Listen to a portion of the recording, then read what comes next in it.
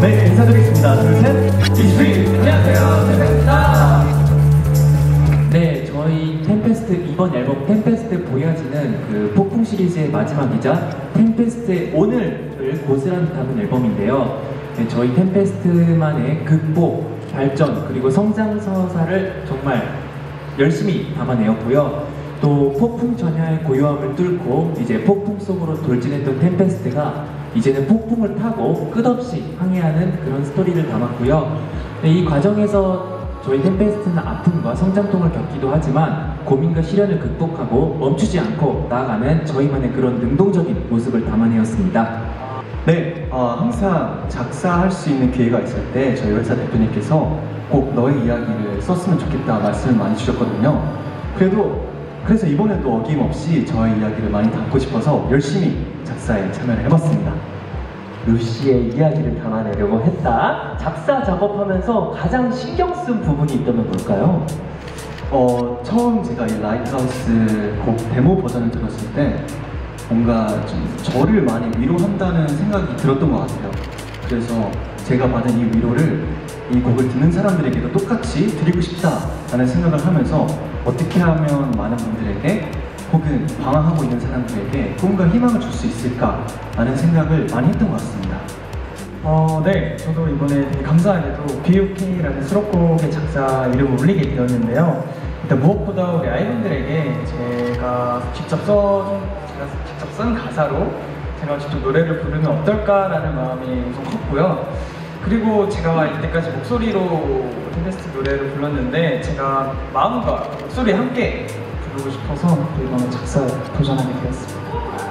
어, 저는 이제 앨범 활동을 계속하면서 어, 언젠가는 제가 직접 쓴 가사가 앨범에 실렸다, 아, 실리면 좋겠다라는 생각을 계속 가지고 있었는데요.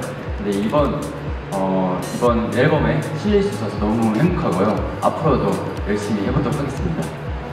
네, 이번 안무 챌린지는 약간 등대 반짝반짝 빛나는 등대입니다. 어? Yeah, you know, you know, I wanna be yours. Yeah, you know, you know.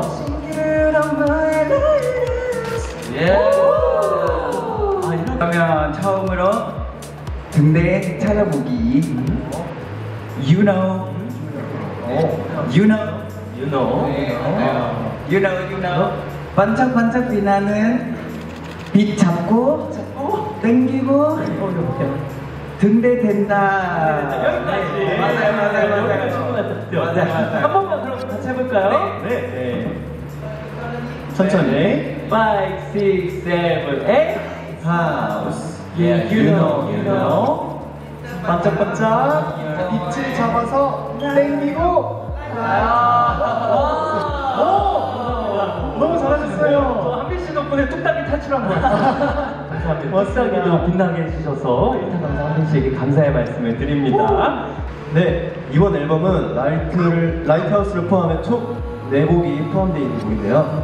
네, 두 번째, 아, 첫 번째 Lighthouse는 어, 희망과 희망과 미래를 담아서 긍정적인 에너지를 담은 곡입니다. 또 두 번째 수록곡 배어는 어, 나도 모르게 지나쳐간 순간들을 후회하며 다시 한번 찾아올 기회에 대한 희망을 담은 노래고요. 세 번째 수록곡 BOK는 긍정적인 에너지가 느껴지는 easy listening의 곡으로 루, 혁, 페레 씨가 작사에 참여한 곡입니다. 마지막 수록곡 Slow Motion은 어, 사랑에 빠진 남자가 천천히 영화처럼 사랑하고 싶어하는 심리를 보여주는 가사를 담은 곡으로 템페스트의 새로운 모습을 보실 수 있을 겁니다. 저는 또 개인적으로 Slow Motion을 가장 좋아하는데요. 차에 있을 때나 어, 샤워할 때 중독성이 있어서 자주 들어서 제일 좋습니다. 또 저희가 두 번째 수록곡 베어도 이번 쇼케이스 무대를 통해 보여드릴 수 있는데요. 많이 기대해 주시길 바라겠습니다. 어, 형들이랑 이제 iE분들이랑 이제 같이 2년을 함께 했기 때문에 어, 굉장한 행복한 시간이었고요. 그리고 또 템페스트 음악을 어, 널리 널리 알려드리고 또 같이 듣고 즐길 수 있어서 너무 좋았던 것 같아요. 그리고 또 어, 힘든 순간도 분명히 있을 테지만 성장통이 있어야지 좀 더 이제 템페스트가 멋있게 발전할 수 있다고 생각하거든요. 그렇기 때문에 저희는 항상 열심히 하도록 하겠습니다. 파이팅! 화이팅! 어, 우선 저희가 이제 저희 힘듦보다 무엇보다 아이분들이 걱정하시는 마음이 컸고요. 그렇기 때문에 무엇보다 더 열심히 무대를 준비했습니다. 템페스트의 항해는 끊임없이 더 발전하고 있으니까요. 이번 활동을 시작으로 또 다양한 곳에서 그렇게 많은 분들을 찾아뵐 테니까 꼭 템페스트의 음악과 퍼포먼스 사랑해주시면 감사할 것 같습니다. 감사합니다. 아무래도 부담이 없었다면 거짓말인 것 같은데요. 저희 역시 똘똘 뭉쳐서 어, 부족함 없이 우리 아이분들에게 걱정을 끼쳐드리지 않게 집중하고 더 열심히 하고 최선을 다했던 것 같습니다. 앞으로 무대로 또 보답할 수 있는 템페스트가 되겠습니다. 감사합니다. 네. 제가 애착이 갔던 이유는요. 이번 앨범이 저희 폭풍 시리즈의 마지막 대미를 장식하는 앨범이거든요. 저희가 템페스트를 폭풍이라고 지칭을 하면서 계속해서 끊임없이 발전하고 어떻게 하면 더 단단해지고 또더 많은 사람들을 품고 안을 수 있는 그런 그룹이 되고자 노력을 하고 고민을 많이 했는데 이번 앨범을 준비하면서 테레가 말했던 것 같이 성장통도 많이 느끼고 멤버들끼리 정말 많은 생각을 하고 끊임없이 고뇌를 했던 것 같습니다. 그리고 앨범을 만들어 나갈 때 멤버들끼리 가장 많은 대화를 나눈 것 같고 그리고 더 단합하고 팀워크를 많이 살릴 수 있었던 것 같습니다. 그래서 이번 앨범을 만드는 과정이 저는 너무 재밌었고 너무 즐거웠고 어, 그 시간이 행복했다고 말씀드릴 수 있을 것 같은데 그래서 이 폭풍 같은 템페스트의 네, 템페스트 보야지 앨범이 너무나도 애착이 가는 것 같습니다. 감사합니다. 네, 이번 활동을 통해서 네, 저희가 얻고 싶은 수식어는 어, 샤프돌인데요. 샤프한 비주얼이 돋보이는 템페스트라는 뜻인데 특히 이번에는 청량은 베이스로 가되 또 멤버들의 성숙미 그리고 성장한 모습을 담았기 때문에 어, 그런 샤프한 모습이 돋보였으면 좋겠다라는 뜻에서 샤프돌이라는 수식어가 붙었으면 좋겠습니다. 어, 형섭이 형이 말했던 것처럼 청량도 어울리고 약간 섹시한 거 있는 약간 청량 섹시 뭐든지 다 잘 어울리는 아이돌 이런 수식어를 또 갖고 싶습니다. 또 이 성장통을 이겨내고 어떻게 성장했는지 첫 번째 질문부터 답변 부탁드릴게요. 네, 루입니다. 저는 질문 주셔서 정말 감사드립니다. 네, 저희가 말씀드린 것처럼 많은 성장통을 겪었다고 생각을 하는데요. 네, 작년에 저희가 음악방송 1위도 하고, 그리고 올해도 어, 기분 좋은 소식, 어, 여러 상을 받으면서 정말 첫 출발을 기분 좋게 시작했는데, 근데 이제 1위도 하고 상을 받을수록 그 책임감과 부담감이 더 많이 느껴졌던 것 같습니다. 어떻게 하면 더 많은 대중분들에게 그리고 아이분들에게 더 좋은 음악과 무대를 선보일 수 있을까에 대한 고민을 많이 했고요.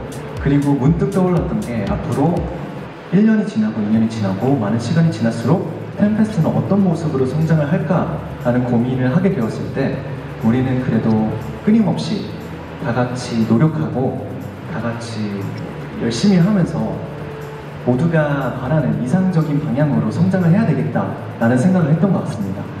그 과정에서도 저는 리더로서 더 팀을 많이 생각하고 더 책임감을 많이 갖고 더 열심히 하고 선보일 수 있는 그런 리더가 돼야 되겠다라는 생각을 많이 하고 많이 열심히 했던 것 같습니다. 어, 감사합니다. 네, 맞아요. 지금도 템페스트는 월요 회의를 계속해서 하고 있고요. 네, 바쁜 와중에도 대화를 끊임없이 할 수 있었던 거는 멤버들이 그만큼 열정이 있었고 멤버들이 하고 싶은 이야기가 많았던 것 같습니다. 그게 템페스트를 더 똘똘 뭉칠 수 있게 만들어진 게 아닐까 싶습니다. 네, 맞 올해의 목표라고 말씀 주셨는데 저희가 이제 전작에 이어서 또 이제 음악방송 1위라는 쾌거를 또 이루고 싶고요. 저희가 이제 4월에 곧 팬콘이 있어요. 한국에서 팬콘이 열리는데 한국뿐만 아니라 이제 모든 해외에 계신 아이분들께 또 다가가고 싶고 팬콘 투어도 하면 어떨까라는 생각을 또 조심스레 해보게 됩니다. 어, 팬콘 투어를 하면 좋겠다. 네, 이렇게 말씀을 해주셨습니다. 네, 그럼 마지막으로 인사드리겠습니다. 지금까지 이스윗 템페스트였습니다. 감사합니다. 네, 템페스트 단체 인사로 오늘 쇼케이스 마무리하도록 하겠습니다.